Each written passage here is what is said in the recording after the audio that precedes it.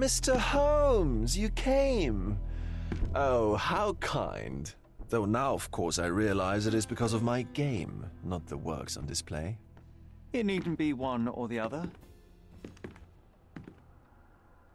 Your man's disguise was easily debunked, Mr. Vogel, but I shall admit that you planted in me the seed of curiosity. Ah, terrific! I had no doubt you'd put the pieces together. Let us call it an opening gambit before the real game begins. So, this little game of yours, what's it about? An enigma to solve. A locked area in the basement with no windows found brutally vandalized. I have no clue how it was possible.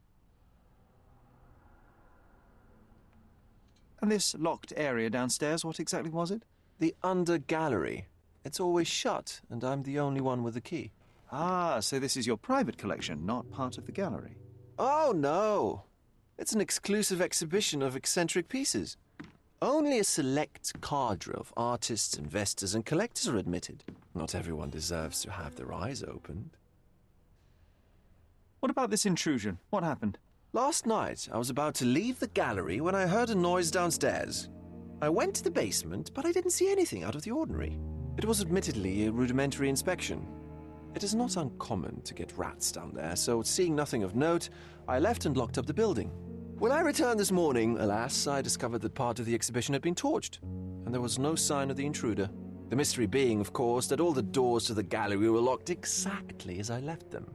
And the door to the basement is the only entrance? Correct. Tell me you're not intrigued. Well, this matter is certainly within my wheelhouse. This intrusion troubles me.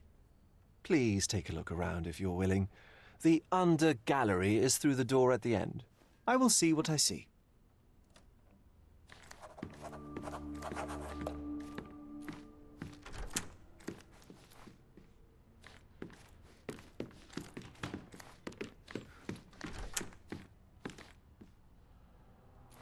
You sure you don't like art, Sherry?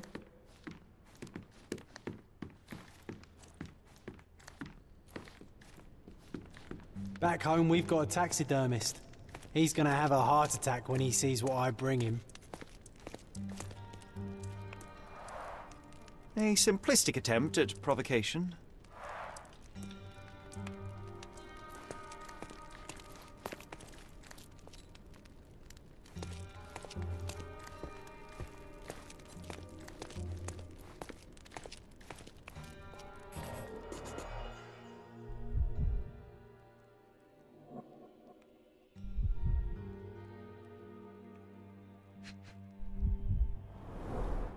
Old and hasn't been used for a long time.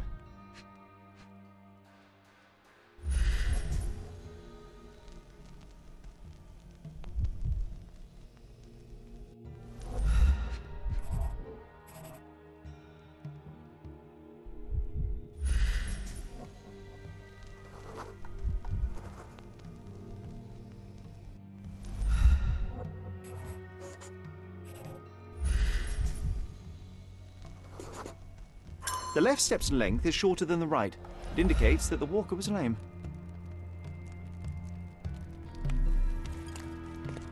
Closed with a metal bolt.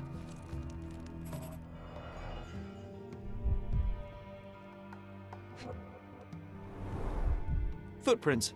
Size nine and a half.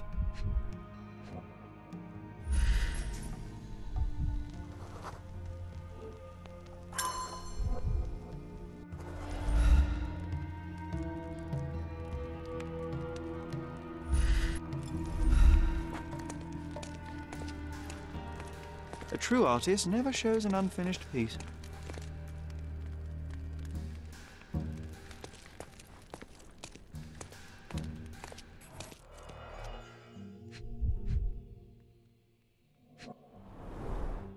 Sherry, how about some company in that dreary chamber of yours? Leave my loneliness unbroken, John.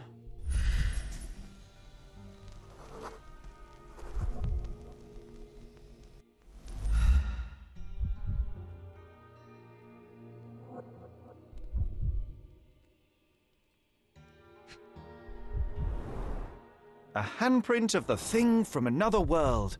But it looks fresh, and its coal origin ruins the effect of the extra mundane.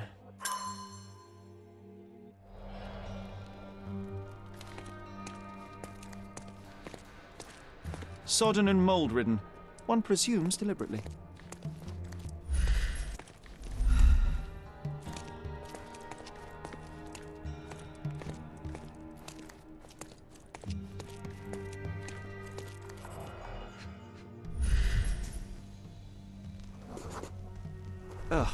Sheer vandalism.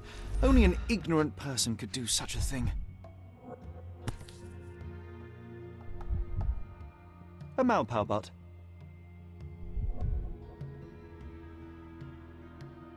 Coal fingerprints. I think we're looking for a man with a coal moustache.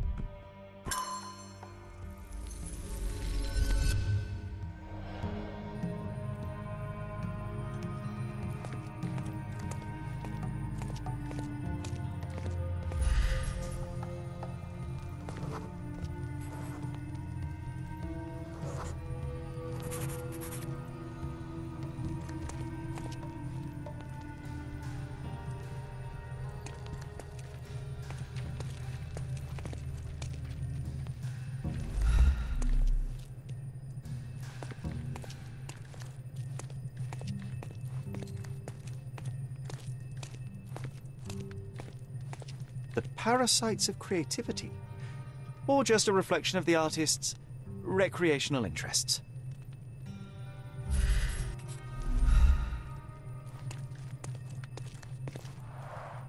Saturn devouring his son. Oh, grim composition. Unflinching in its ferocity, yet somehow beautiful.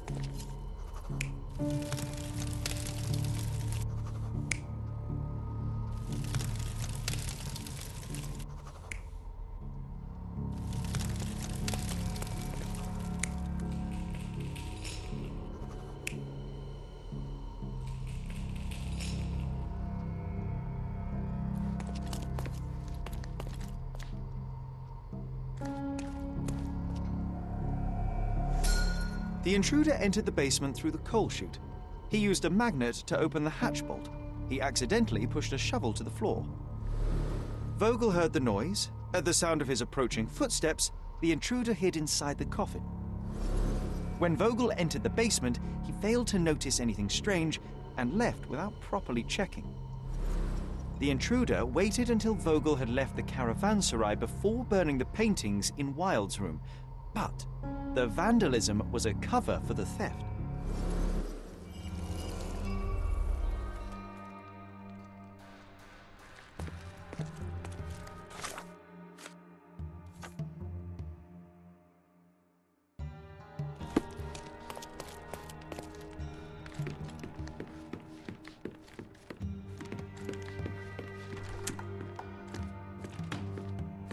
The pieces are not what I expected. What do you think my collection is about?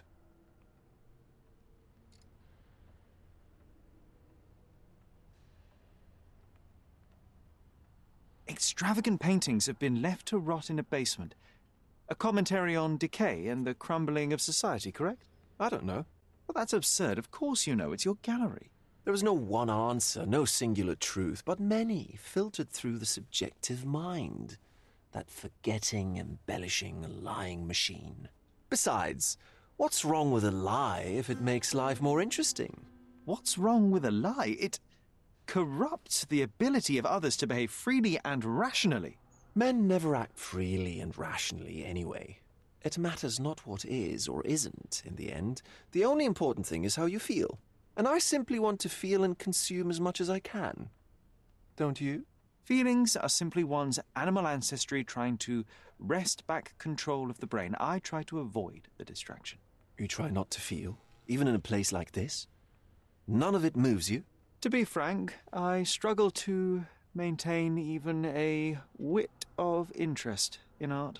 But, Mr. Holmes, it is joy incarnate, mankind's greatest achievement. Mankind's highest achievement above all others is objective and rational thought. I see then why you dislike art, for it means whatever you want it to. Or perhaps, Mr. Vogel, I was lying. Aha. Uh-huh. Mr. Vogel, I have confirmed that the intruder was an average sized, flexible Malpal smoker with a limp. As it happens, the vandalism was a cover. The true intent was to steal a painting without your knowledge.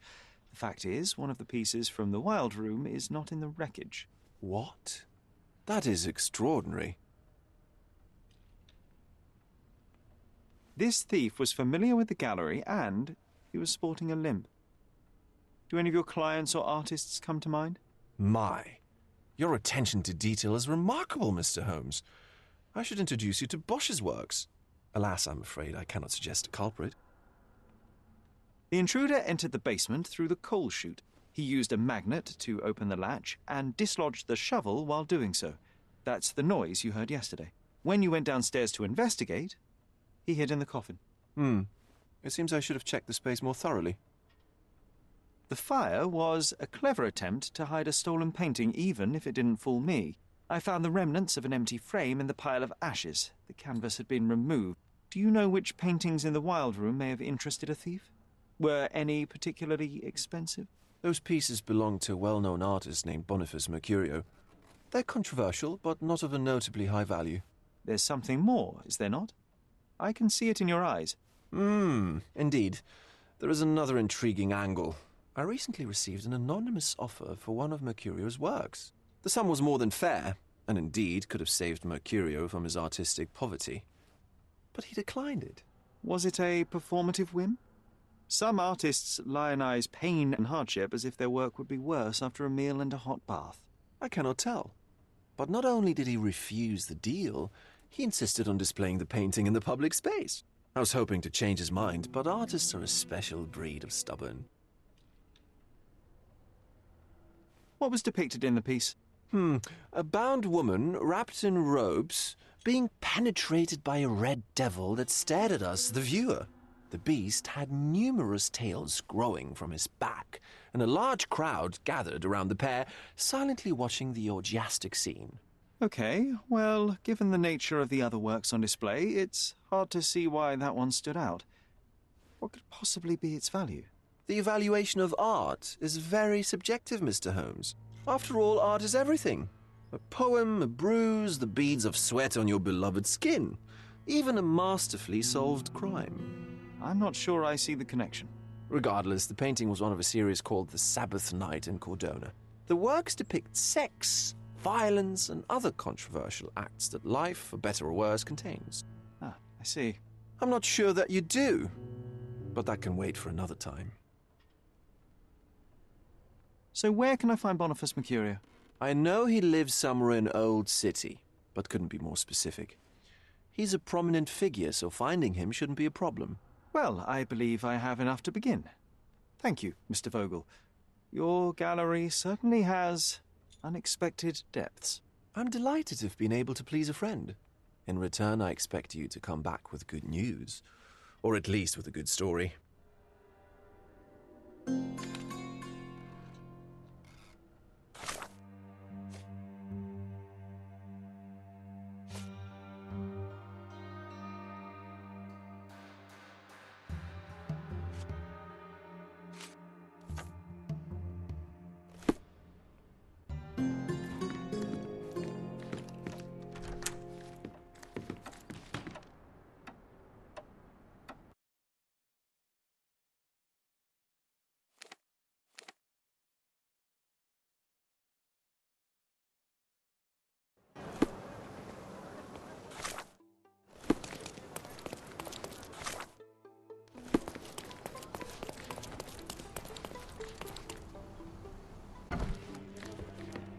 Mr. Holmes, I have something for you.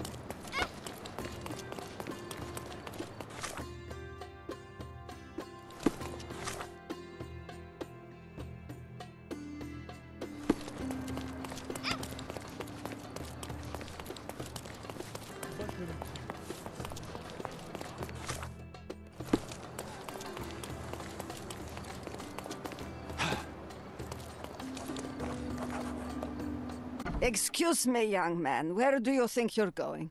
Greetings, ma'am. I'm looking for the. I don't care who you're looking for. You shall not pass. No visitors allowed. I wish to buy a painting from Mr. Boniface Mercurio. Is he at. Dearie, tell me because old age has made me blind. Did someone write Information Bureau on my forehead? Because I'm not here to answer your questions. Entry is for residents only. If you aren't a resident, please leave, or I shall report you to the police.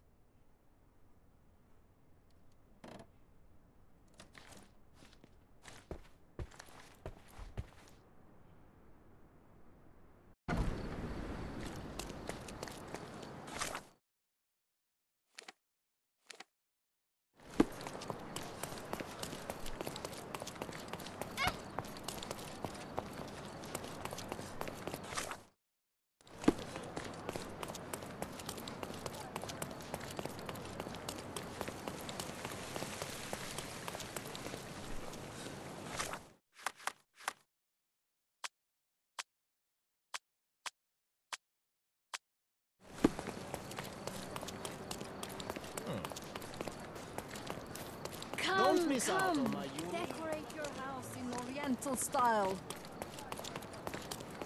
Let's pick something that suits you.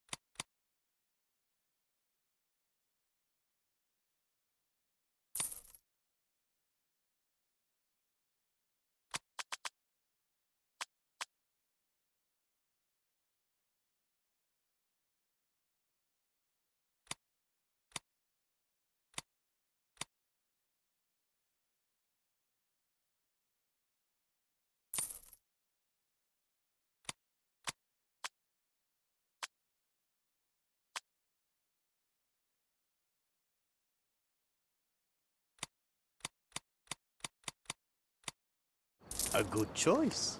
A good choice indeed.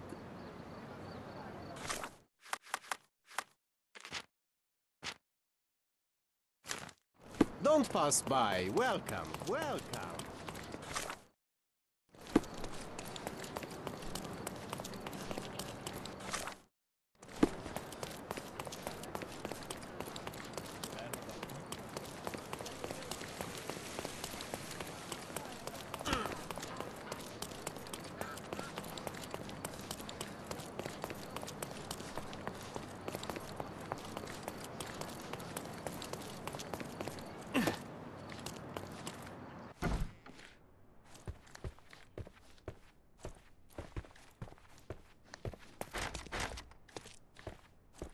Boniface, sweetie. Is that you? Ah. Old age does terrible things to one's sight. I didn't recognize you at first. How are you, Mum? I- I'm ashamed to admit that I've lost my key. Do you have a spare? For heaven's sake! How many times will you lose that key of yours? Of course I have a spare. You artists all live in your own little world. Please accept my thanks. I would rather accept your rent. You promised to pay me several weeks ago, and I'm still waiting. I will pay you, I promise, very soon. You'd better do, my dear. Or else I'll just change the lock. And I won't fall for those cow eyes.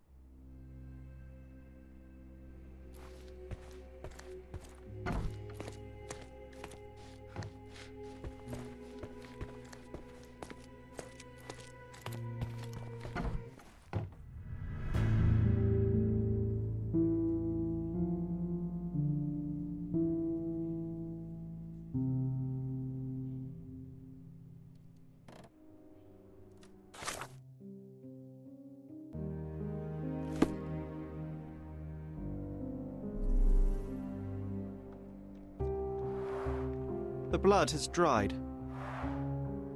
I've heard of this style of painting. It is called Expressionism.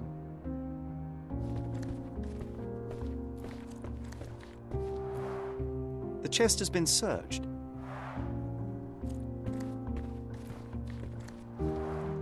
Red skin, tails on the back, reminds me of Verda's description of the stolen painting.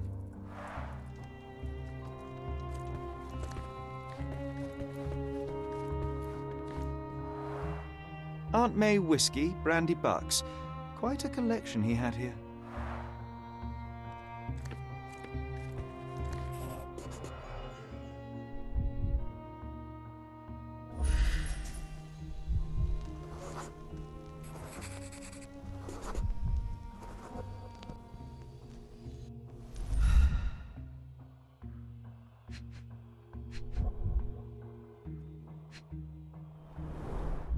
It appears the wine was truly awful.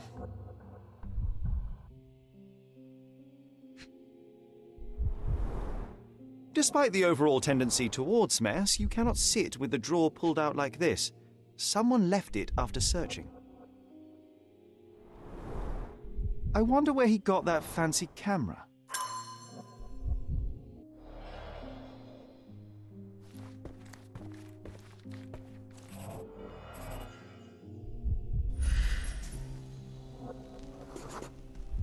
Judging by post mortem rigidity, the body lay here for one or two days.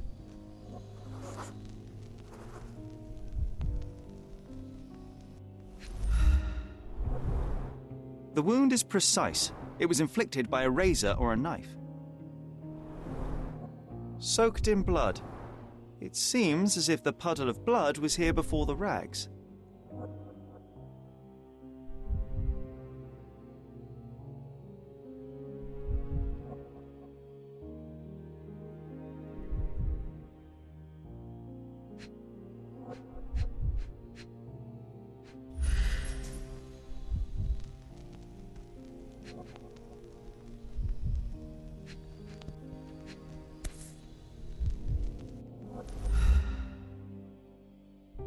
Kitchen knife. Could be the murder weapon.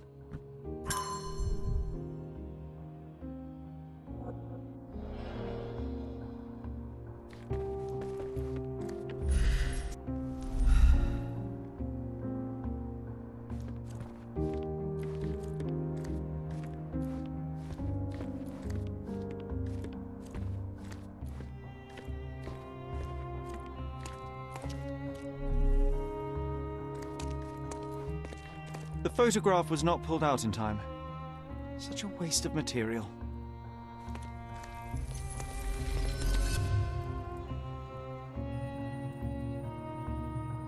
Look at this, John. Isn't it our stolen demon?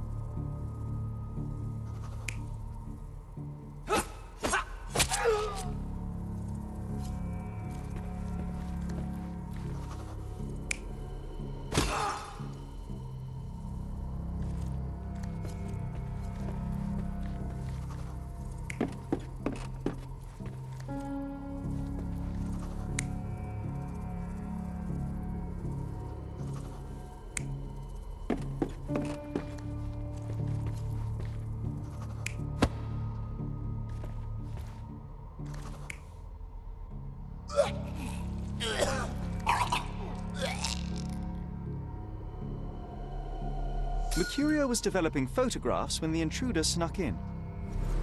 Mercurio heard him coming. While the thief was searching the chest, the painter ran towards him with a bottle in his hand. He smashed it across the thief's head. The intruder had no choice but to defend himself, and the weapon of opportunity happened to be a kitchen knife. Mercurio stepped aside to grab the painting, but the wine blinded thief attacked Mercurio's throat. When the thief came to his senses, he saw Mercurio bleeding on the floor. He grabbed the rags and tried to bandage him, but it was too late. Why did Mercurio attempt to snatch the painting in the middle of a fight? To strike the intruder? Not with his painting, it was too important to him.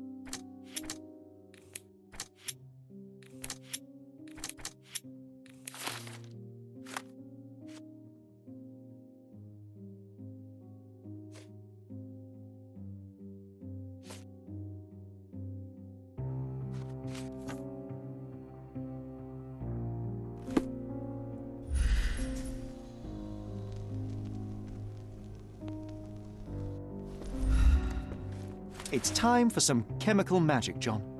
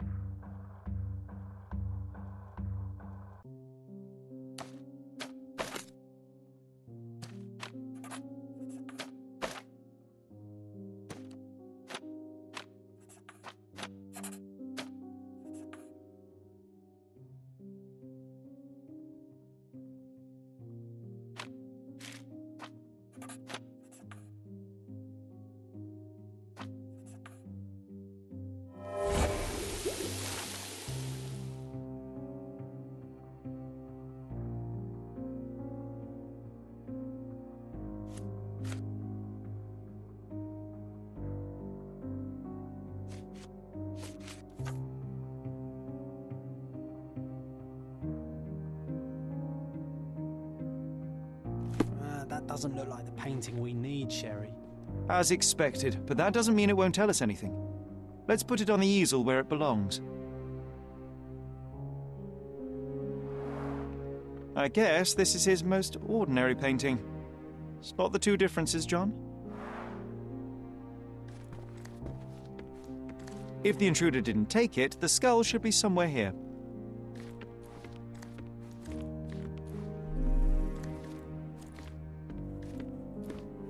Nothing behind it.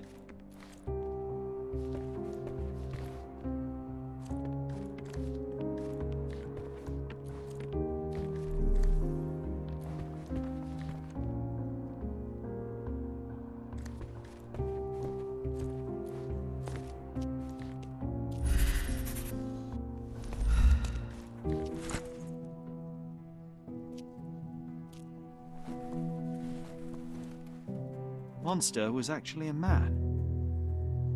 Poor girl. Jon, you ought to be thrilled. We are now hunting the devil himself. Uh, what were you saying, Sherly? I was too busy sketching the scene, you know, crimes and such like, daily routine. Did you find something? A photograph. It depicts a man in a red suit with tails sprouting from his back and multiple people in masks watching the scene. It all adds up. But the act of love, it wasn't given willingly, Jon. It was a violation. And the girl, she was with child. Give that to me now. Did you recognize someone? No. Although the victim is not from Cordona, she is African. Look at the ritual scars on her face. Get that image out of your brain. You have to continue the investigation. I must speak to the landlady. Perhaps she saw or heard something. Sherly, you cannot tell her the truth about Mercurio. It will hurt her. Jon, that's illogical. Sooner or later, she will come here and discover a corpse, and I still need to talk to her. Just avoid mentioning corpse. All right? Stick to the character. Tell her to call the police. I'll take that into account. And wait here. I've redrawn the people in the photograph. Now you can proceed with your investigation without those horrific details.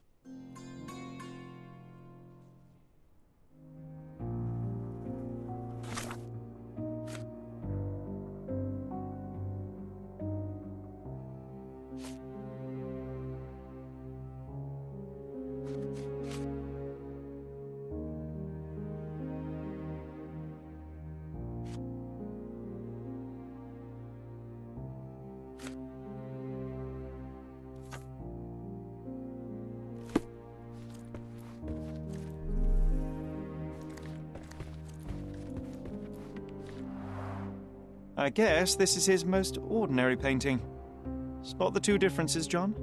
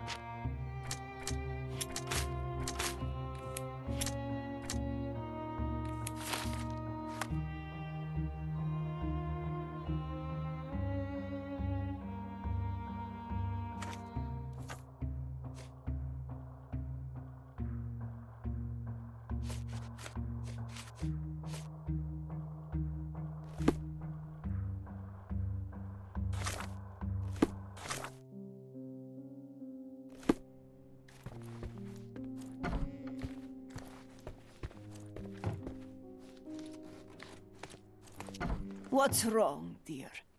You look like you've seen a ghost. Can you tell me if anyone else has recently entered the flat? Oh, you're talking about that limping man. I'm sorry I let him in. I was scared. And I thought maybe. maybe he would motivate you to find money so that you would pay your rent. No offense, dear. Can you describe him? Oh, so you weren't at home. I was so certain you didn't leave your flat that day. He was of average height, had a limp and a tattoo on his neck, and he was smoking Malpal cigarettes. My husband used to smoke those. They have a horrible smell I can recognize from a mile away. Can I ask a favor? Of course, dearie. Please call the police and ask them to enter the flat. And don't look inside until they come up. What? What trouble have you stepped in this time? It really doesn't matter. Thank you, Mum.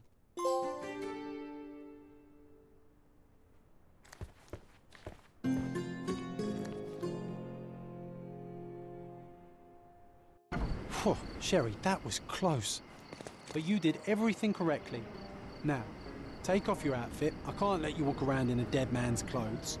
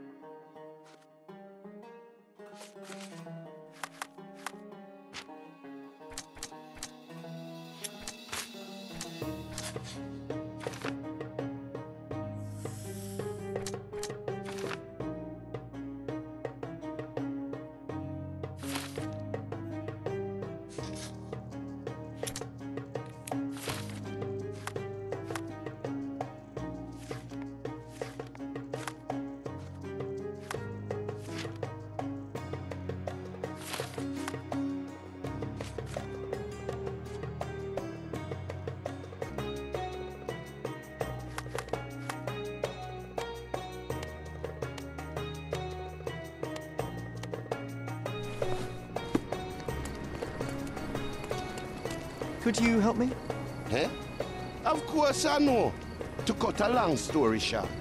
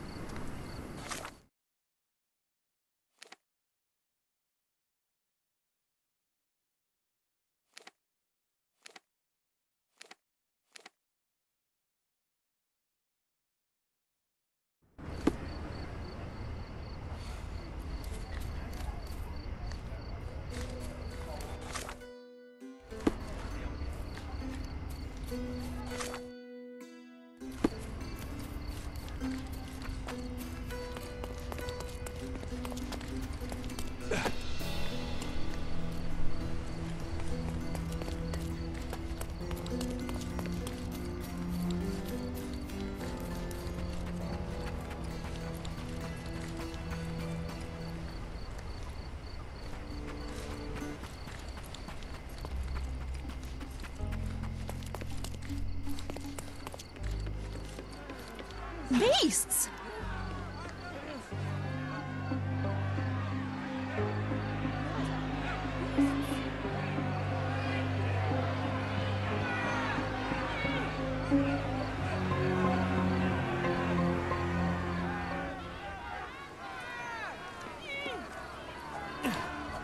Murderers! Is this familiar to you? I'd help you, friend, but I know nothing. They're completely livid. First they come to our land, then they murder our people. Drop them all into the sea! Can I ask you a question? Oh, I don't know about that. Ask one of the others.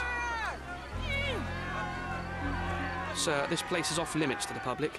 Please state your business or leave, or I shall request that the police escort you out. My name is Sherlock Holmes. I'm a private investigator. I'm looking for a witness for a case. A private investigator? Really? Even so, you're not authorized. I can't let you in. And you are? I'm Ronald Harlow, here to handle the refugee situation on behalf of City Hall.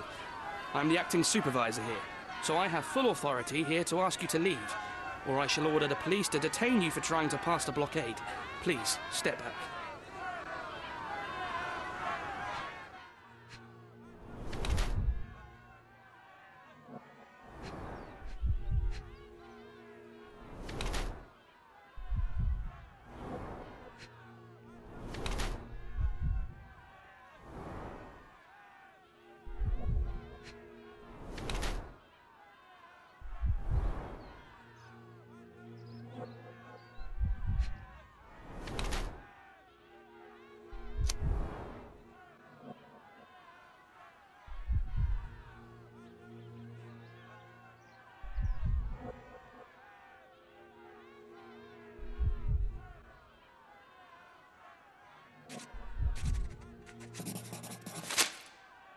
What about the murder that this crowd keeps shouting about? It's mere assumption. I assure you that the situation is under the police's control. I know you want to deal with this in the right way. You are obviously a professional and a responsible person, but you clearly have never handled a situation like this before. I am handling it, Mr. Holmes. Don't question my capability here. And tell me how you do it. You can't even calm this gathered crowd, and as for the police, they're not quite managing it either, are they? You consider yourself a problem solver, but until today, you've been solving problems sitting at your desk in a dark corner of a city hall room. Here, you need a more practical approach. What are you driving at, Mr. Holmes? I can help you to handle the situation if you're truly interested in solving things quickly and quietly. And how exactly would you manage that? Simply tell the police that I'm with City Hall and I'm permitted to investigate the scene. I'll work out the rest, but in return, I need your help finding my witness. She's a young refugee. She's with child or was with child recently. Look, there is indeed a dead body inside the camp. So even if the girl you are looking for is there, all the refugees are now being detained and interrogated by the police. They won't allow you to speak with her, and I can't do anything about that until the situation settles down. So it's in our mutual interest to settle it. Oh. I suppose that things are bad enough that I ought not shy away from help. All right, Mr. Holmes. I'll tell the police to allow you to come inside. Just tell me when you're ready. I'm ready to take a look at the scene. All right. Go inside the camp and find Inspector Tewkesbury. He's the officer investigating the scene. Tell him I sent you. Say you're an independent expert from City Hall. He'll fill in the details for you. I'll find my way with words. Thank you, Mr. Harlow.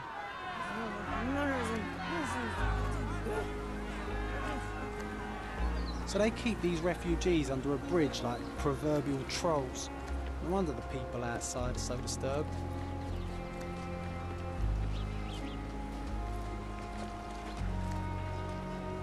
Who the hell are you? How did you get in here? Mr. Ronald Harlow let me in, sir. I'm Sherlock Holmes, a surveyor of refugee affairs with City Hall. You're Inspector Tewkesbury, I presume? A surveyor? What does that even mean? In short, I've been sent to conduct an extensive report on the incident for the Colonial Office and to assess all the damage inflicted on state property. Got it. Another paperworm sent to count money and get food for archive mold. Go on, look around, but don't make yourself too at home. As if I didn't have enough problems before you appeared. Could you first tell me what happened here? What happened? People from the bridge above the camp heard a woman screaming and saw a mass of refugees attacking a man. Clearly not a refugee. When the camp guards came by, the man was floating in the sewage canal with a knife in his chest. Bam. A murder. Big news for Cordona. I'm sure. Thank you, Inspector. And none of the refugees were harmed? One fellow was cut. He's lying over there near their kitchen. He's in a bad way. You mentioned a woman screaming who attracted the bypassers on the bridge. Was she harmed? No, she's all right, but perhaps the whole debacle started because of her. She started wailing and the refugees stood up for the girl. And where is this young woman now? Back there in the shacks, same as the rest of the refugees. She's been questioned by my men, but she's just some refugee girl. Can't understand much English. Did you learn anything about the dead man? The fellow looks like a thug. I've had dozens like him fished out of the sea over the past 20 years. Ever since these refugees arrived, there have been people on Cordona with bad blood in them. My best bet is that this thug had something against them too. And no clue as to his identity? He had some items on his body, but nothing to indicate who he was or where he was from. I think I should catalogue his possessions in my records. Go on. They're on the table near the body. Do you have any suspects yet? You're joking, right? I've got a whole camp full of suspects. And if you ask me, this bloke had it coming. Better bury him and forget about the whole thing. And now there's a crowd gathered at the camp, and my superiors say we must thoroughly interrogate the refugees. At least those who can understand any English. Do you believe that your superiors wish to get rid of the refugees? I think that both our superiors would rather keep the story quiet. Since that's an unaffordable luxury now, they're looking how to protect their public image. That's why I have to waste my time waiting for my people to turn every stone and befriend every refugee.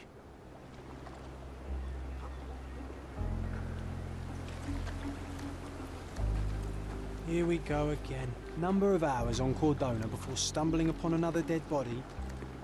Zero.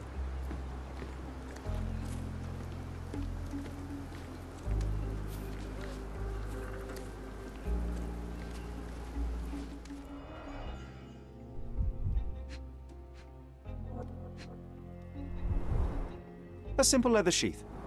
Perfect for a dirk. Malpal, soaked with salt water. One thousand pounds. A fair sum, especially considering British currency isn't very common in Cordona.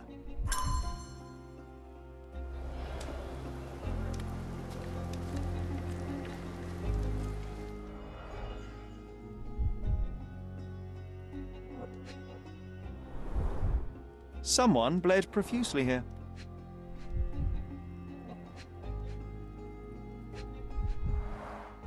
A fresh crack, as if the crate was hit recently.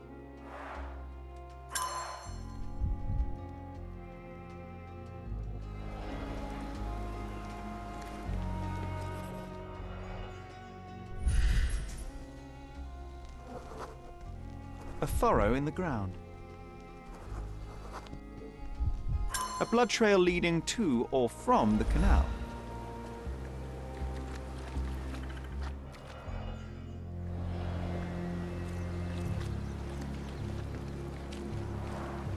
Clearly a left handprint here.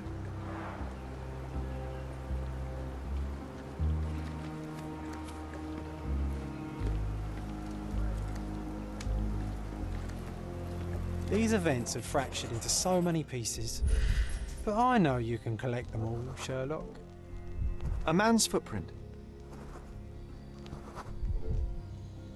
Police boots. Always happy to trample evidence.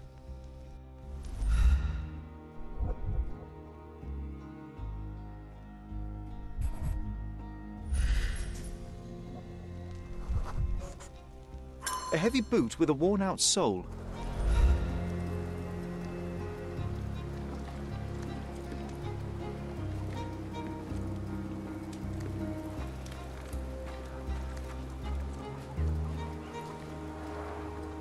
Carnelian agate beads, a traditional African adornment.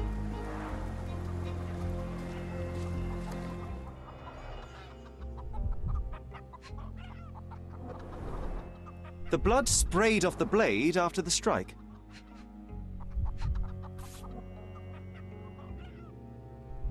No hint of blood or impact.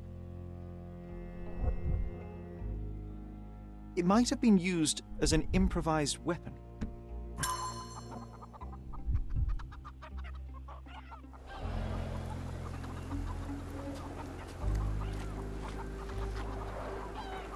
Someone was dragged against their will.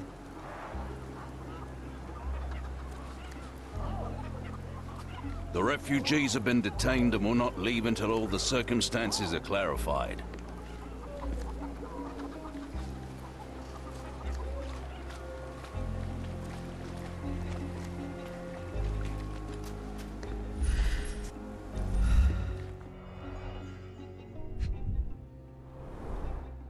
Cut is deep, potentially serious if not treated immediately. He is in shock, feverish, and dehydrated. Sherly, you know first aid. Surely you have a duty to help this man. You can't leave him to certain death.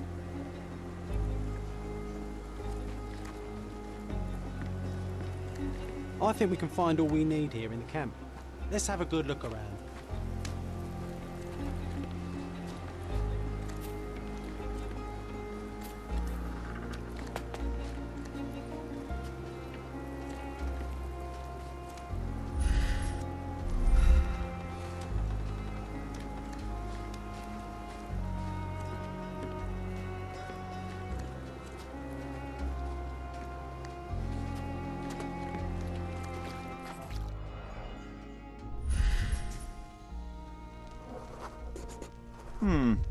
Dust under the nails.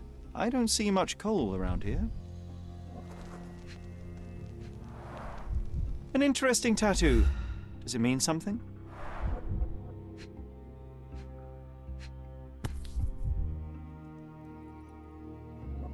A steel dirk, sharp. A common accessory among sailors and soldiers. I'd say the blade penetrated upward, however, the wound is too messy to be certain.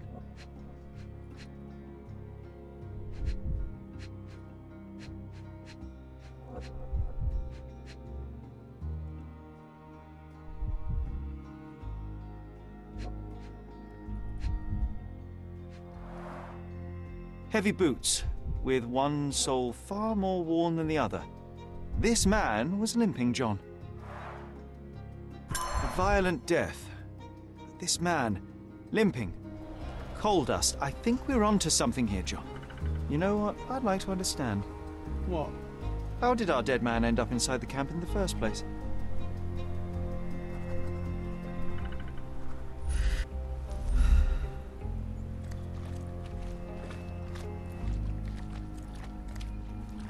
If they find out about the passage, everything will go there.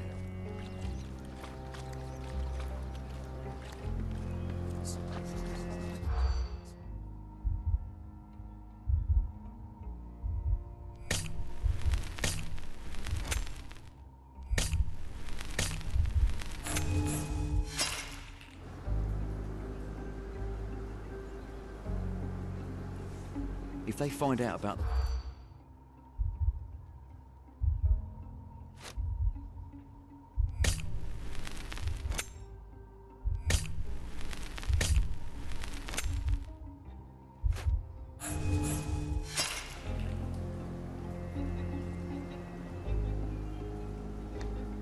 find out about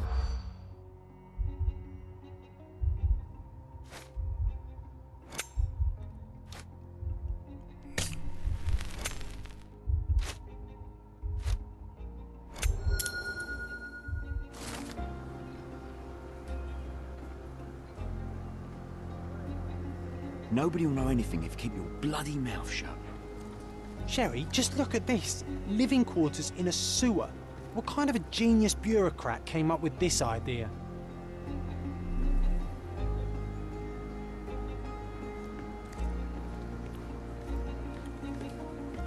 Could you help me? Unfortunately, my casebook is empty on this.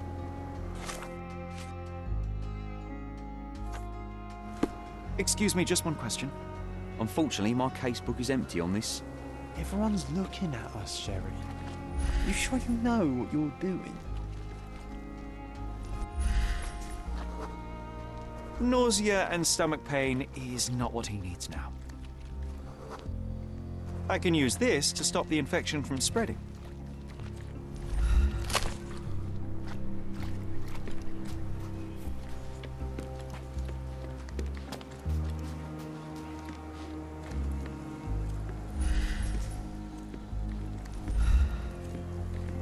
I think we can find all we need here in the camp. Let's have a good look around. Do you know anything about this? Oh, I don't know about that. Ask one of the others.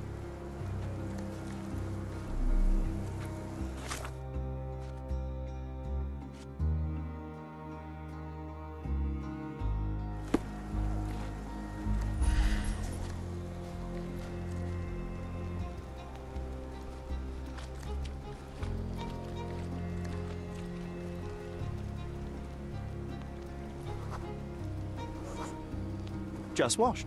Better than nothing to bandage the wound.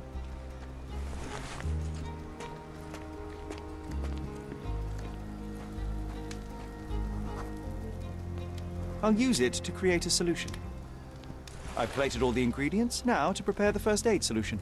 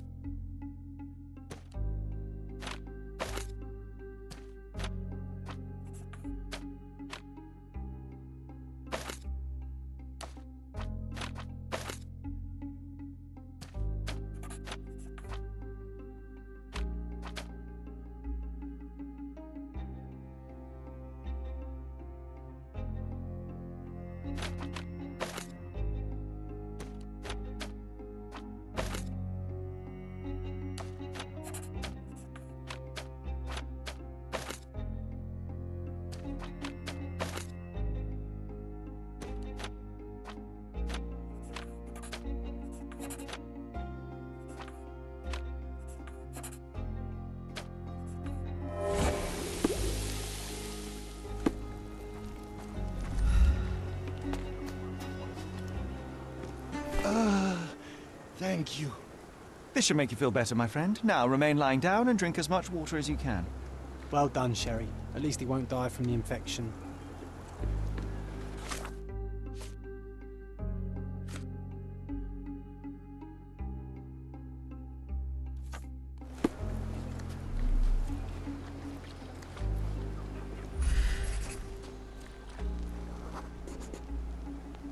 It's unlikely anyone could get in or out of the camp by water without alerting the police guards.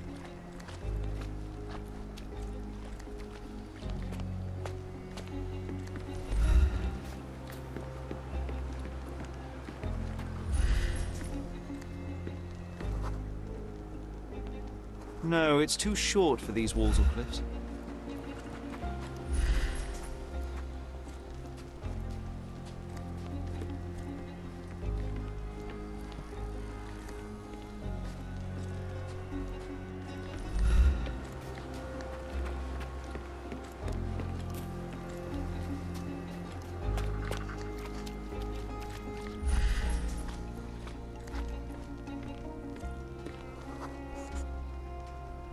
Sealed shut. I doubt our man could get through these grates.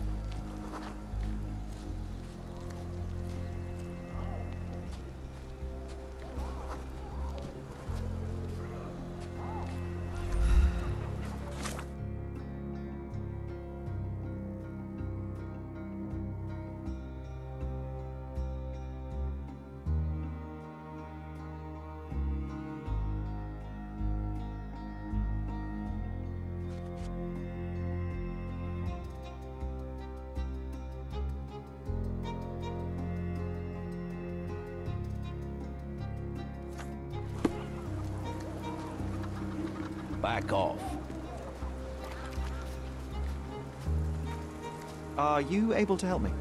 Oh, I don't know about that. Ask one of the others.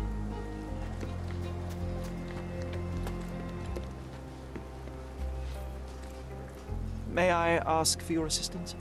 Oh, I don't know about that. Ask one of the others. You obviously haven't thought this all through. Or are you just Is this familiar to you? On purpose? Oh, I don't know about that. Ask one of the others.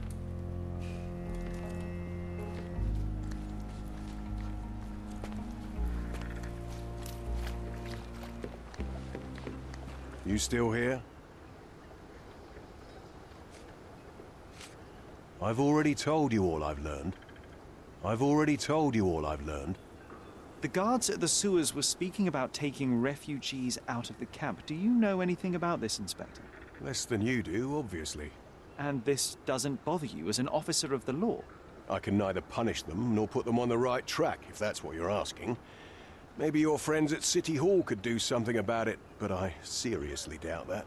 To be honest, I'm sick and tired of being frowned on for my uniform. If those fine gentlemen you've eavesdropped on are in some shady business, that's on their heads. City Hall lubberheads.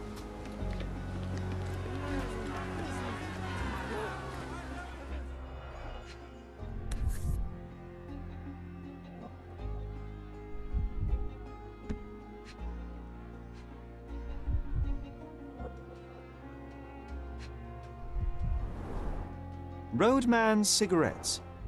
A brand highly regarded by law enforcement officers. So there wasn't any sophisticated infiltration plan. The good old police just let the man into the camp. Now we have everything we need to get the full picture of what happened at the camp.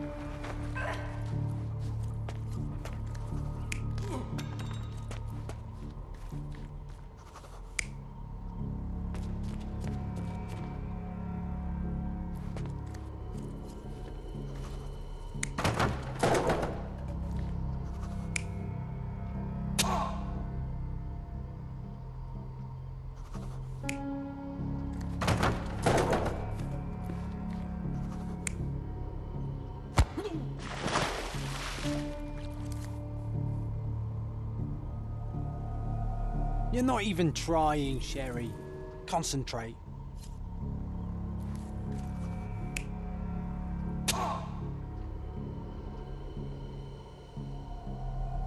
You're not even trying, Sherly. Concentrate.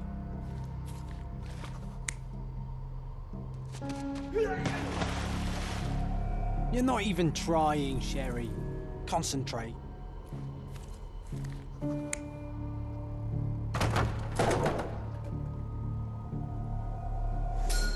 So, we have a thug who came to take a refugee woman with him. She resisted, but he dragged her by force.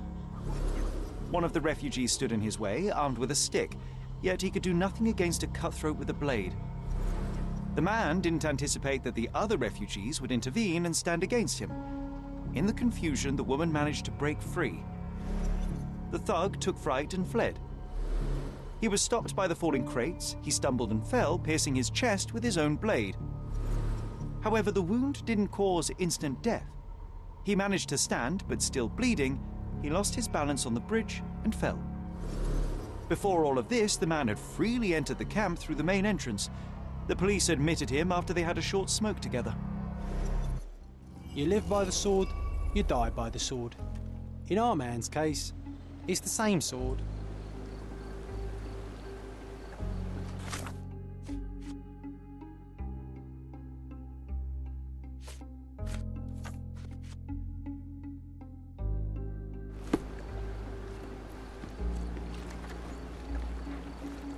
You still here?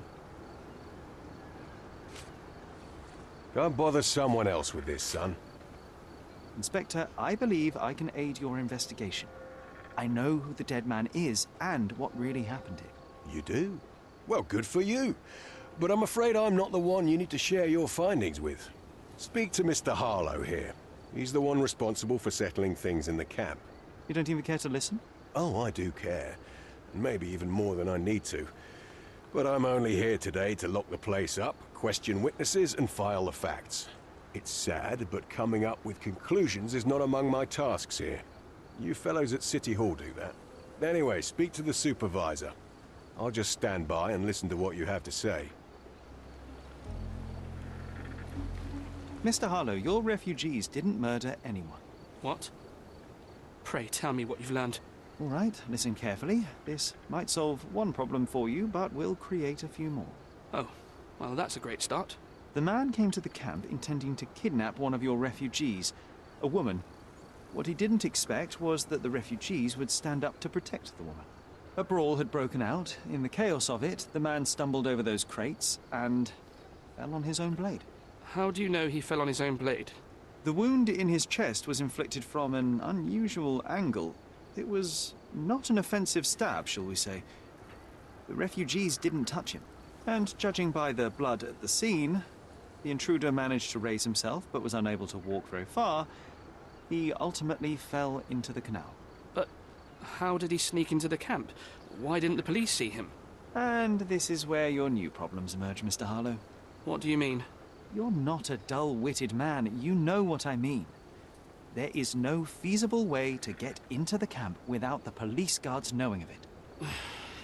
the pile of mess I had to sort out has just become bigger, but somehow that doesn't surprise me. Anyway, I thank you for your help, Mr. Holmes.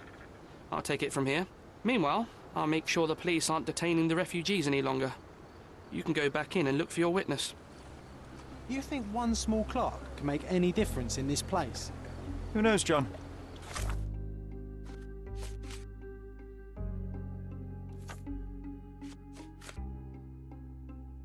Just one ill-fitting cog could make the whole machine crumble. You're disturbing a hornet's nest here, son. Are you able to help me? Sorry. We don't see much here. May I ask for your assistance? Sorry, we don't see much here. Everyone's looking at us, Sherly. You sure you know what you're doing? You're the one who tended to our man's wounds. I thank you greatly. The police didn't allow us to help him. The police will leave you alone now. I've proven to them that the man who came into the camp died due to his own foolishness. Thank you for standing up for us. But nobody would help us without a reason. You're here because you want something. Yes, I do. I need to speak with the girl drawn here. Hmm. The dead man came for her too. He wanted to take the girl away, but we won't allow her to be hurt again. What do you want from... Her? To find the people who did this and bring them to justice. And to find them, I need Nayla's help. Will you let me speak to her? Justice. There's no justice on this land. But you helped us, so maybe your words are not empty. You can speak to Nayla, if she wants it. But I will be watching you. Hello, Nayla?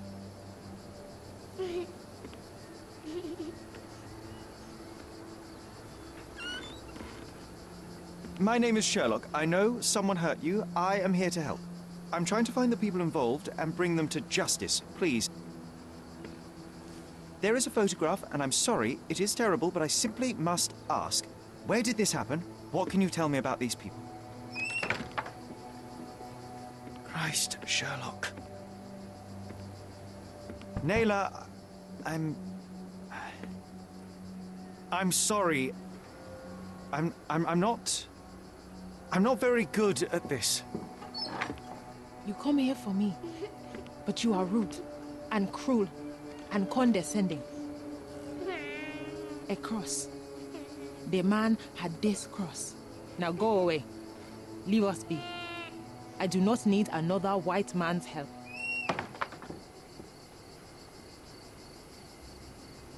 Oh, glad that wasn't me. Not my best work, Jon, by a long shot. Nayla doesn't want us meddling. I'm starting to wonder what this all achieves. But she helped you anyway. Now we know that maniac's face and the cross he wore, we can still catch him.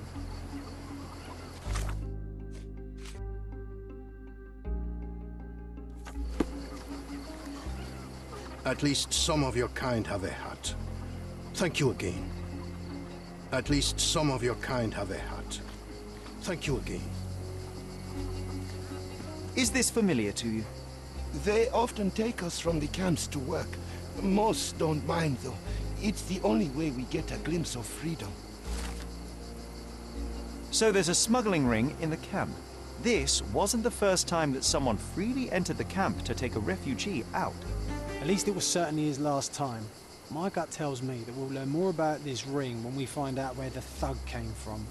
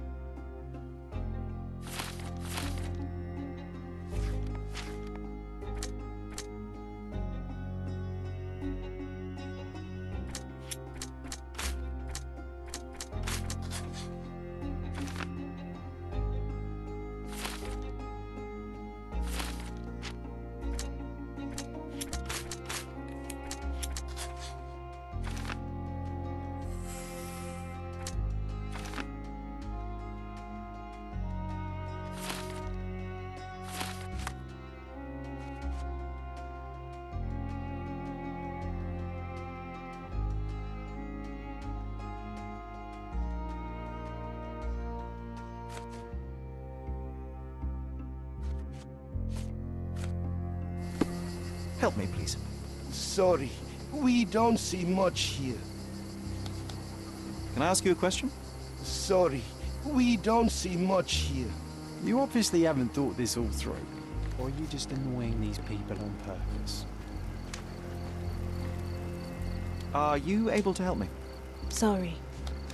We don't see much here. Are you able to help me? Sorry. We don't see much here. This isn't working. You might need a different tack. I owe you a lot, Mr. Holmes. I owe you a lot, Mr. Holmes. You still here? I've already told you all I've learned. The intruder has a most peculiar tattoo on his neck, two lines and a point. Do you know anything about it? You really want to know, kid? Why? You want to play a policeman or something? I'm sure you have it in your records, so it won't hurt if I have it in mine. In my records, it's just a tattoo, as it should be in yours. Ah, to hell with you. Suit yourself as to what you're going to do with it. Off the record, though, such tattoos are often connected to a man named Mr. Niccolo Bernadotti. Bernadotti, you say? A respectable businessman in Scaladio. His company imports goods and wines, and smuggles everything that can be smuggled between the colonies and the mainland. His people can be identified by an obscure tattoo, just like the one over there our friend has. But these are all merely rumors, you see. If Mr. Bernadotti was a criminal, he'd be in prison now. Or hanged, right?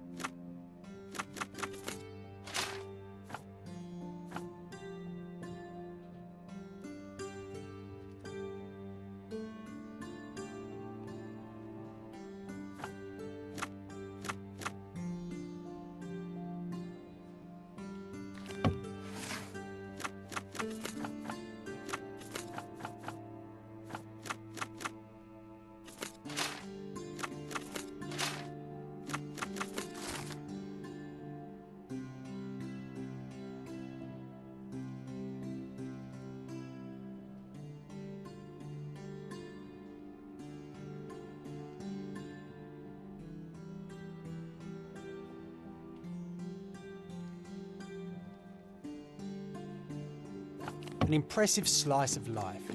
The police had a lot on him, and at the same time, nothing at all. Amateurs.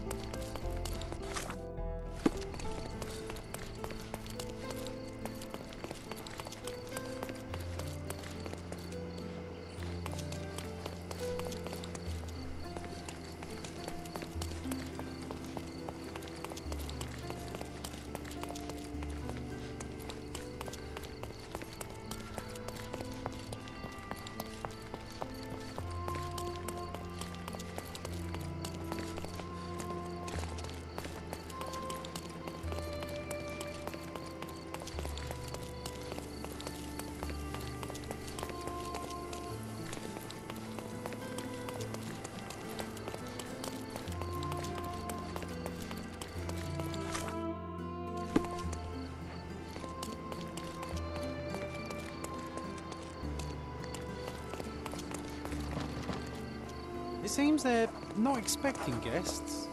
I won't wait for an invitation, Jon. May I ask for your assistance? Oh, I'm sorry, but that's beyond my knowledge. May I ask for your assistance? I'm sorry, but I've never heard of that. You obviously haven't thought this all through. Or are you just annoying these people on purpose?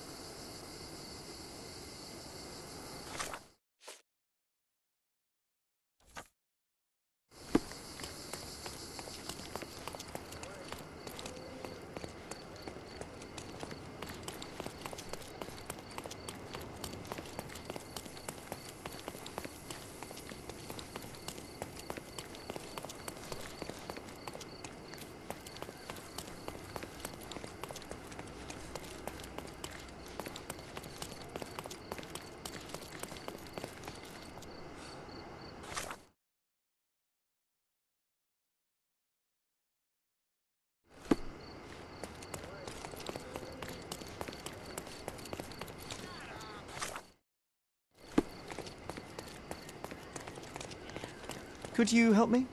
That's not something I know, sir. Someone else might know more.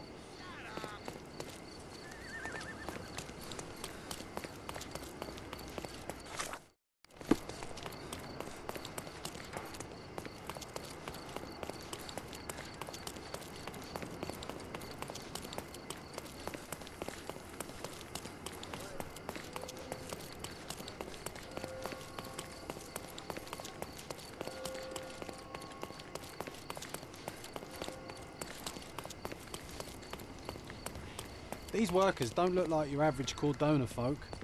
They're refugees from the camp.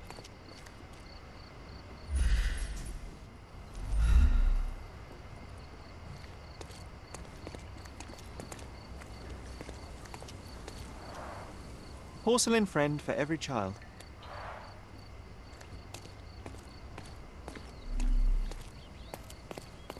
This earthenware came a long way from the Staffordshire potteries.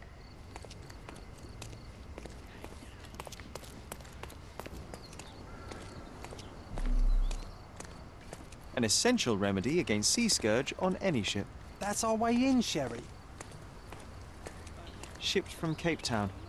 The wine route from colony to colonies. Bernadotti doesn't miss an opportunity to occupy every niche in the market.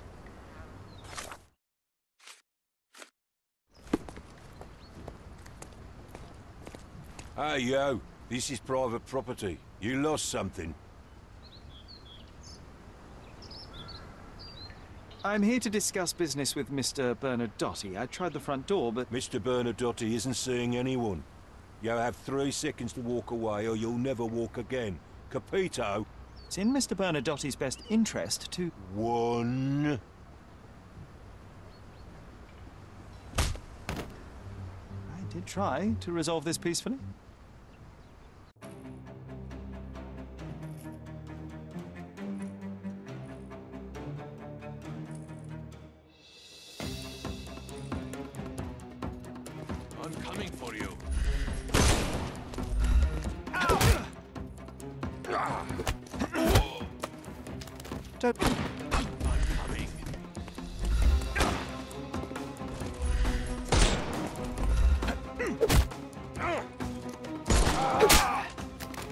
Simple.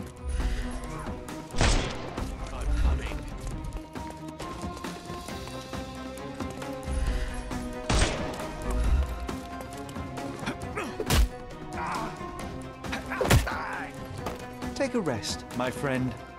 The snuff's ready.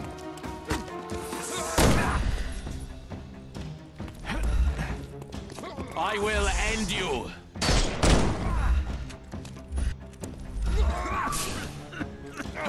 Miss the party. Don't cry, you'll live.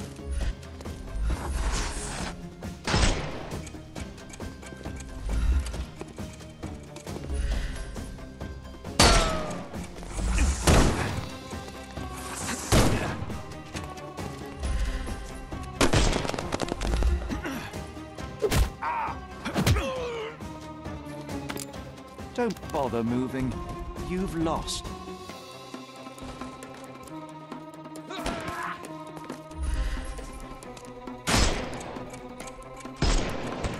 Not that easy.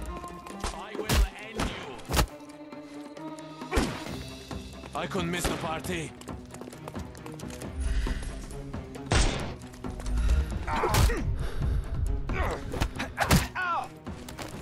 Don't cry. Give him the pepper snuff. Time to knock this guy out. Too simple. The snuff's ready.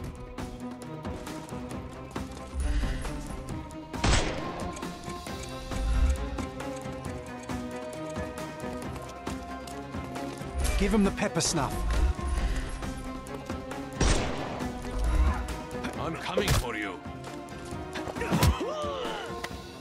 No more. The snuff's ready. Terribly sorry. Hmm. Don't bother moving. You've lost. Give him the pepper snuff.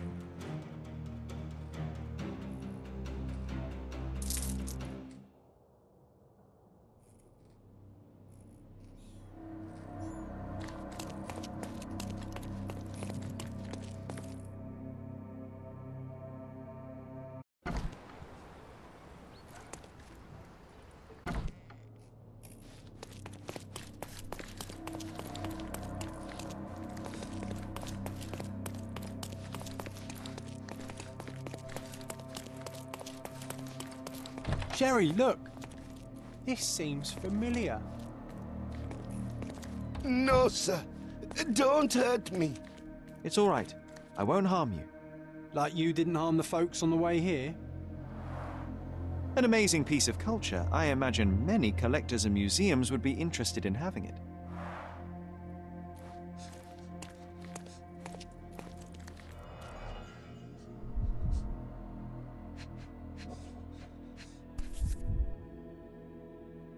A Dogon statue from West Africa.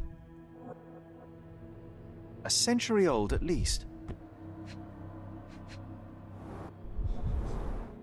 Masks, traditional for the Chokwe people of Central Africa.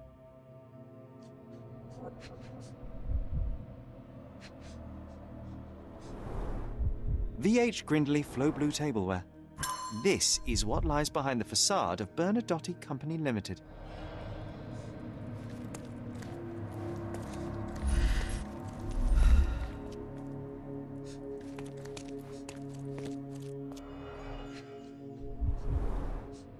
Let's see what's hidden there. Vogel's stolen painting. Isn't it curious how it developed into a much more interesting case?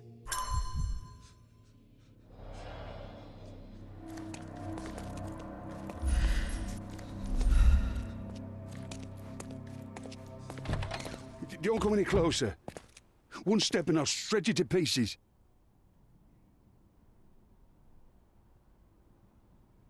Keep standing in my way and no one will ever see you again. Righto. Yes. Yep. Well, uh, excuse me, sir. I, I think I hear... I've got to... It's better I leave. Whoa. Oh, wow. That was as if somebody put my words in your mouth.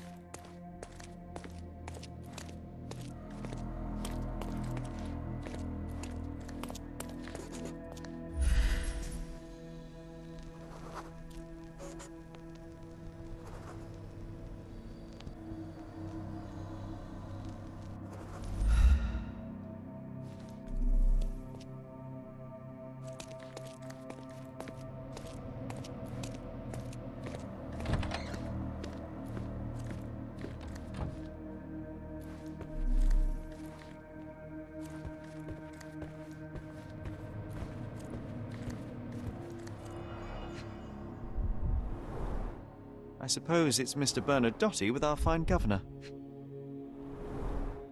1875. It was taken a few years back. Jon, how many people in Cordona have a photograph with the governor, do you think? You definitely don't have one. Please don't shoot me. I have a family.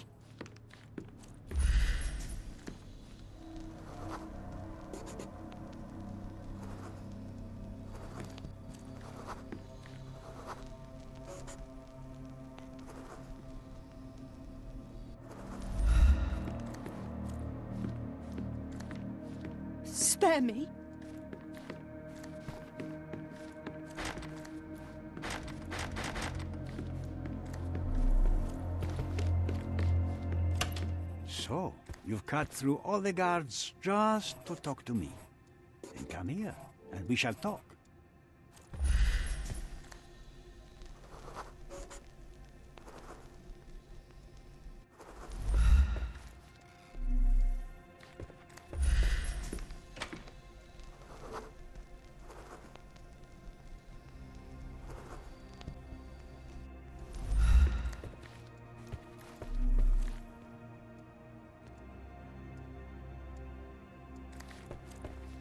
Whenever you're ready.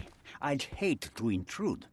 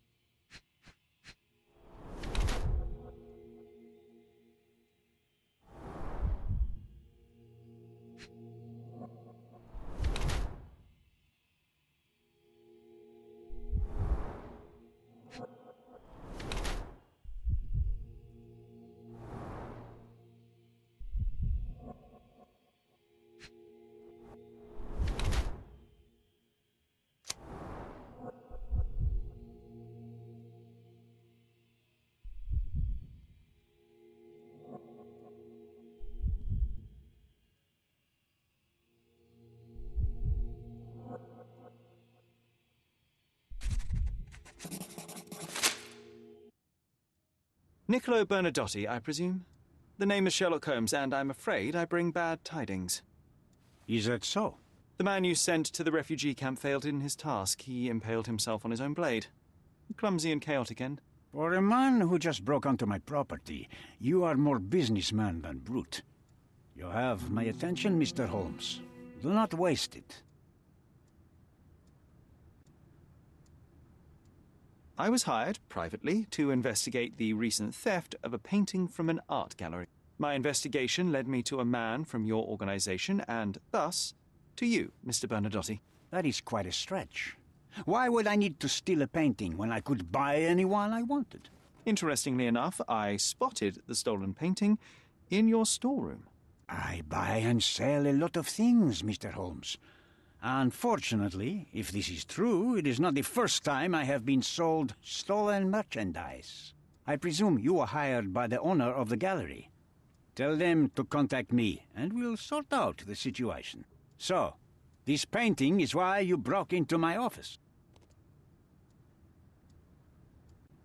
As I said, your man was found dead in the refugee camp.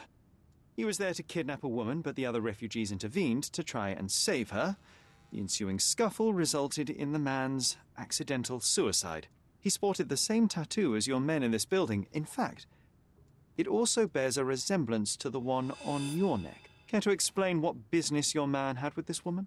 You have no idea what you are talking about. I can assure you this was no kidnapping. The refugees in the camp are on edge. What happened there is a tragic accident, one I am not responsible for. For what reason was your man there if not to abduct her? Why would I answer? You are yet to justify your presence in the slightest. Mr. Bernadotti, do you know the name Boniface Mercurio? I do not. Mercurio was a local artist. Recently, a man broke into his apartment, ransacked the place, and killed him. The thief was looking for something. You are testing my patience, boy. In a moment, the connection will reveal itself. So many words, so little action. When you barged into my office, Mr. Holmes, I got the impression you wanted to talk business. Now I see you had come just to talk. Tell me exactly what you want, or get out. It was necessary groundwork for what comes next. I have enough evidence to conclude that the gallery thief, the artist's killer, and the dead man in the camp are all the same person.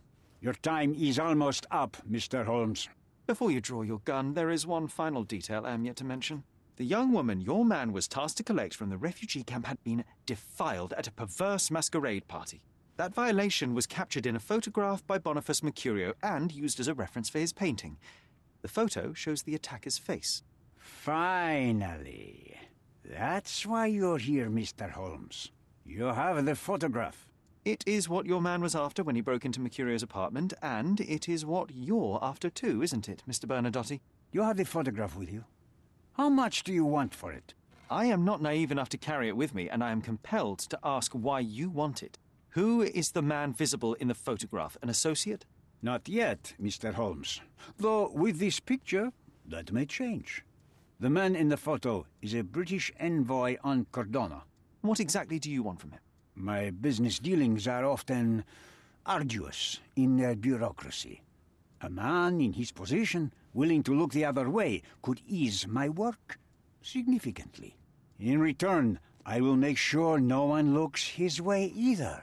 A favor for a favor. Also known as blackmail, the modus operandi of any true professional. It was not originally my idea. Mercurio set things in motion, extorting the envoy for the most trivial of ends money. In response, the envoy hired my man to retrieve the painting and the photograph, eliminating Mercurio's leverage. I only learned the whole story after the artist was killed in his home. And rather than extricate yourself, instead you took over Mercurio's venture. It fell into my lap. As a businessman, I simply seized the opportunity. Now, how much do you want for the image?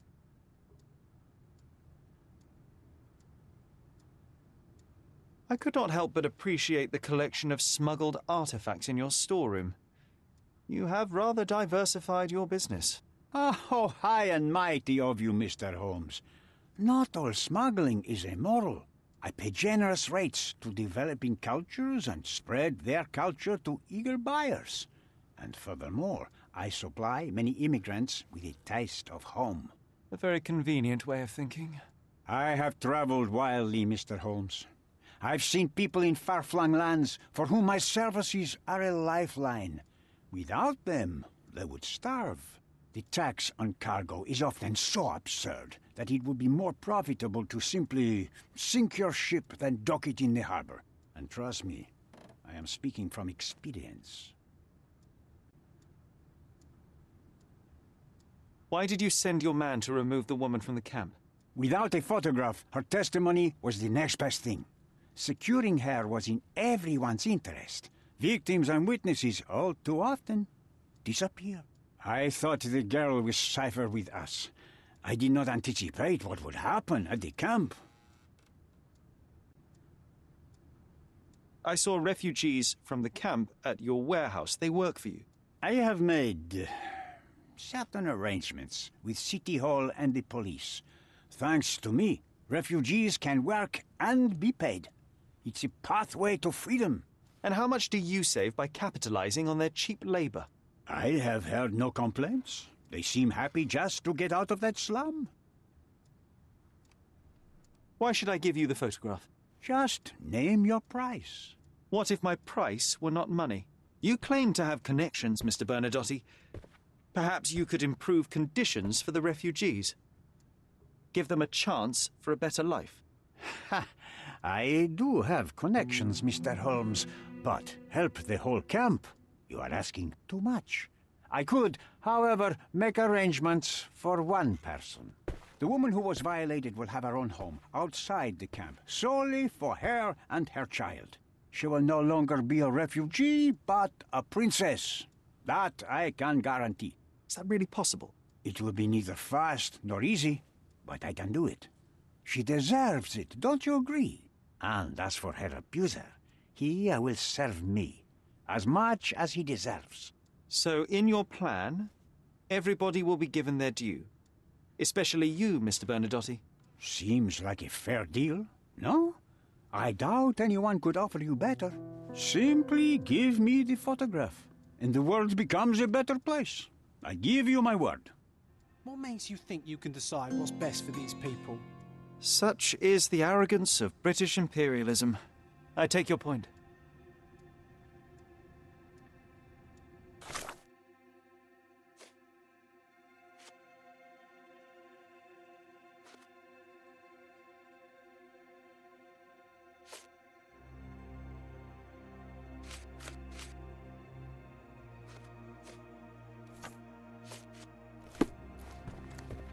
I am positive our deal will benefit everyone.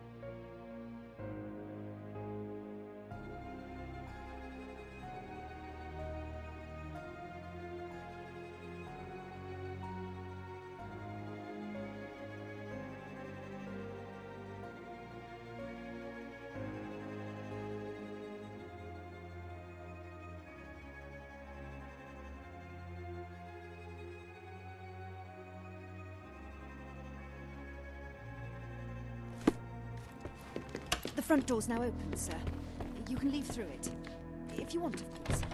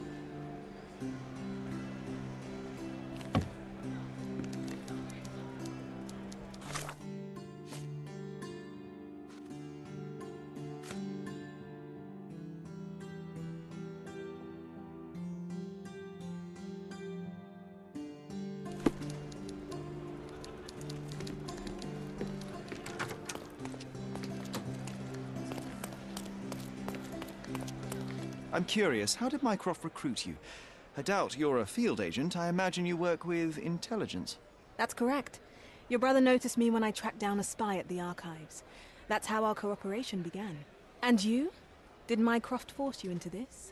Not at all. We simply have a mutual interest in someone. Or something. Of course. A fruitful and willing collaboration, I'm sure. Well, I'm his younger brother. I have to accept the consequences of being a close relative of an official figure. I suppose, in a way, we are colleagues, Mr. Holmes. In the remotest way possible, Miss Oni.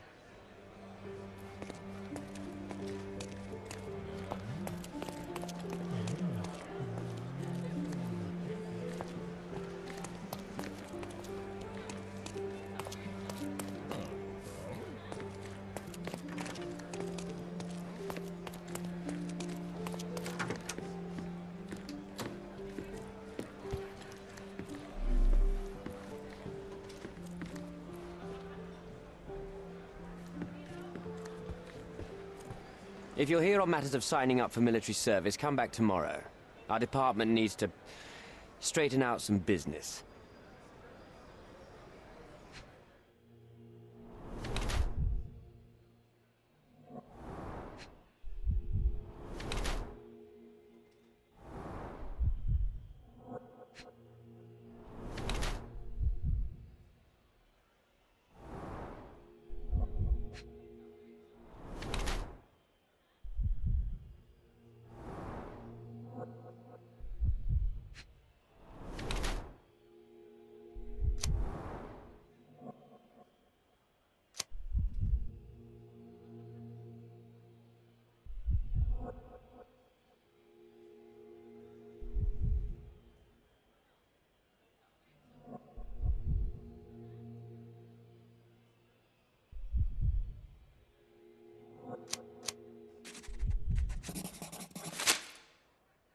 Why are you staring at me like I'm a Madame Tussauds figure?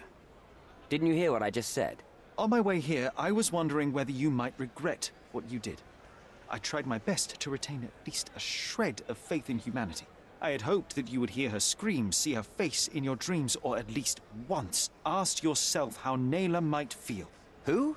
Neither of my hopes were fulfilled. Why are you here?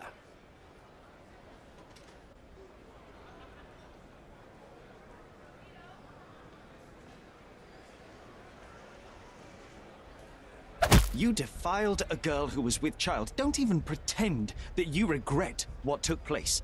Do you wonder why I came here?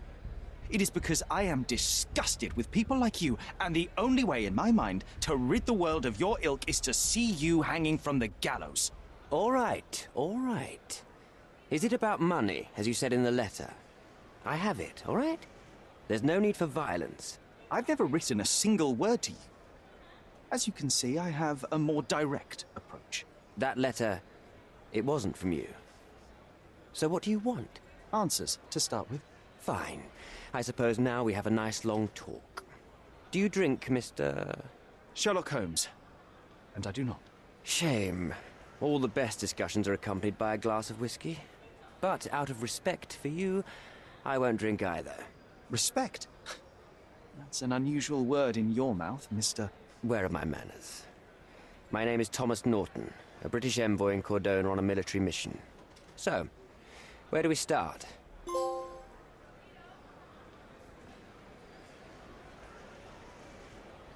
You mentioned blackmail. Tell me about it. All right. A couple of days ago, I received an anonymous letter. It said that in the art gallery at Caravansary there exists a painting that incriminates me. The blackmailer made it clear that if there is a painting, then a photograph exists too. And I should be wary of what it might do to my reputation. What does the blackmailer want from you? Money, of course. What else do such people want? Needless to say, I don't remember anyone taking photographs at the party. Up until the last moment, I hoped he was bluffing.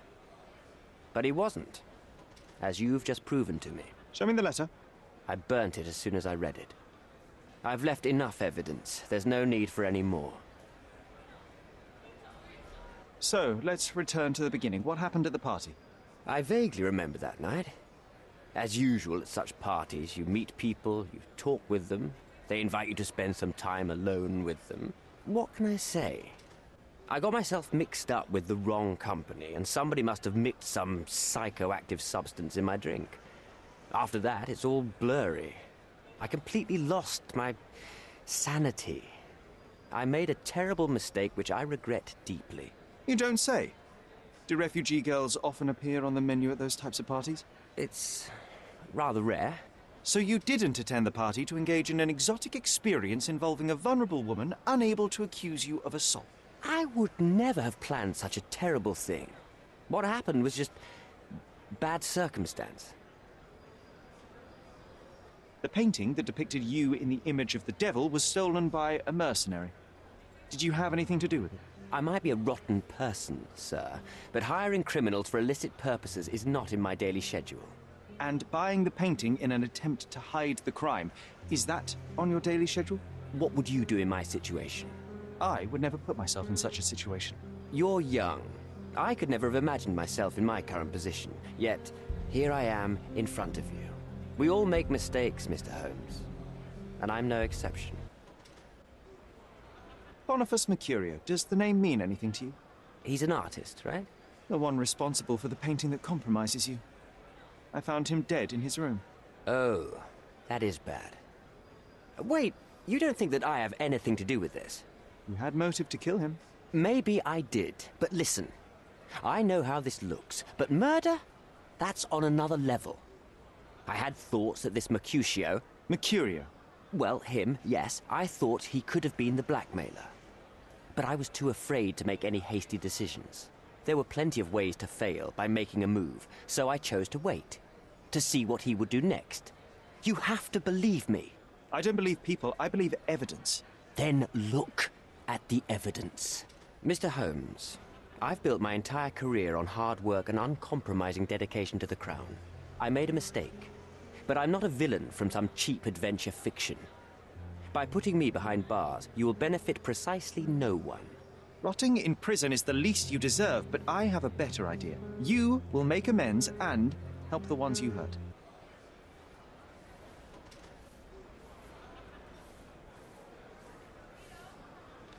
Nayla deserves the very utmost of what you can do. Help the girl? I can't risk the press paying extra attention to her. I will do anything except that. That's not all. Use your connections to help patriate the refugees, find them decent homes, give them jobs. There must be a meaning to your position and my decision. Yes, all right, I can do that. So, will you give me the photograph now? I need to think this all through. Don't do anything foolish in the meantime. What makes you think you can decide what's best for these people?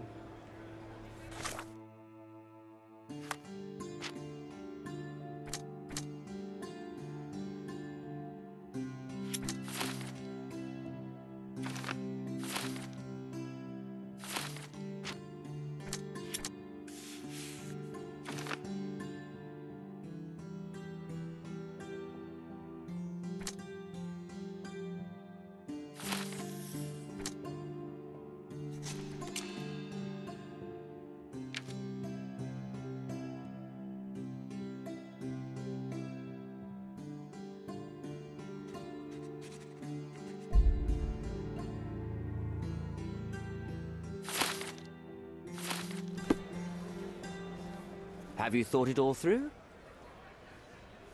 Almost. The refugees, what will happen to them? Well, I wouldn't be standing here in this fancy office if I didn't know how to pull the right strings. In fact, it's the only thing I know. The local governor will receive a decree signed by the House of Lords containing a request to patriate the refugees in the name of the Crown. From where did you gain such influence? I never asked you how you found the photograph. So don't ask the magician how he performs his tricks. But how can I believe you? Ugh. I presume you do believe in my selfishness. The initiator of the refugee salvation will be none other than the British envoy, savior and protector of those in need. It's a win situation for me, too. Now, what about the photograph? You deserve to be punished, but the greater good is what matters here. I won't bargain it for justice for Ned. I'm glad that this situation is over. It will be over when you settle the matter of the refugees. You have my word, Mr. Holmes.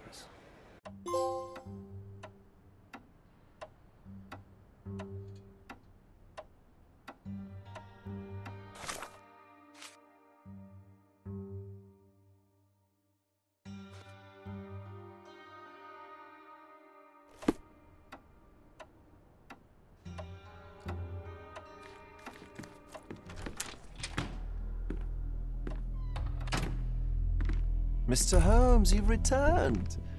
Have you uncovered anything new about the theft?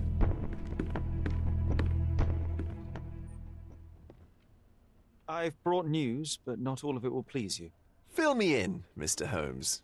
I won't shoot the messenger. I tracked down Boniface Mercurio. I presume he wasn't delighted about the situation. He was not having a good day on account of his murder. Killed in his own flat by the same person that stole his painting. Oh, sweet Mercurio, perishing in the pursuit of his art. How apt. I will miss his exceptional sense of humor. I located the thief, but found him rather cold. He was tight lipped about the painting, too. Huh, he's dead. How very droll, Mr. Holmes. One presumes you were not responsible. It was an accident at the refugee camp. He impaled himself on his own knife. Life is nothing if not cruel and capricious. What about the stolen painting? Have you located it? I found the painting, but I could not retrieve it. Well then, where is it? In Bernadotti's office.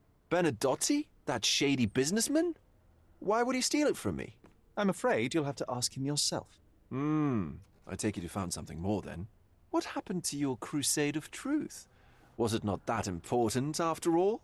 No truth will satisfy you, Mr. Vogel. It was not an attack, Mr. Holmes. If you've chosen not to tell me, I respect your intention. But it is just rather boring, isn't it? It is what it is. Well, now that we've resolved all of our outstanding matters, I have a gift for you. I took the liberty of having it delivered to Stonewood Manor. I am told it belonged to your mother. Previously, you mentioned there may have been more to my mother's passing than consumption.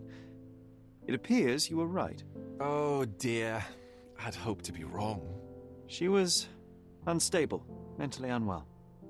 She required sustained specialized treatment, but her madness persisted. I knew that Violet had disappeared from the public eye, but had no idea of her suffering. I cannot imagine what you're feeling. I'm fine. And what exactly have you sent me? Frankly, I'm not sure how to answer that. I trust you'll know. Thank you, Mr. Vogel. I am curious to see what you have procured.